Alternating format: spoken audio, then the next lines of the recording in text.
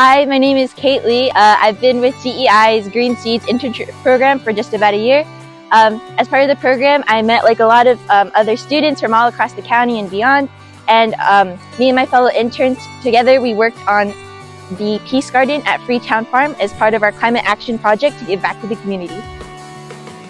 Hi, my name is Tim Wright, and throughout the season of 2024, I worked with the CEI at the Freetown Farm on earning my Eagle Scout project and building a number of lofts to increase our storage capacity, and therefore help give back to the community some of what it gives to me.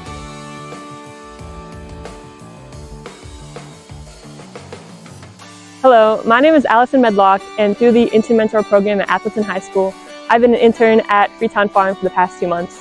And although I just started, I can really see just how much intent goes behind fostering the relationship between pollinators and produce at the farm.